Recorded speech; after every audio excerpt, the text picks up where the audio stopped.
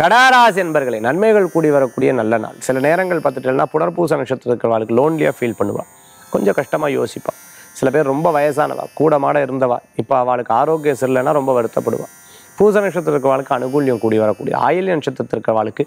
படிப்பை பற்றிய சிந்தனையும் ஸ்போர்ட்ஸ் டான்ஸை பற்றி சிந்தனையும் ஆன்லைன் கிளாஸஸ் எடுத்துகிட்டு வாழ்க்கை அதை பற்றிய சிந்தனையும் யோசிக்கக்கூடியதாக இருக்கும் நிறையா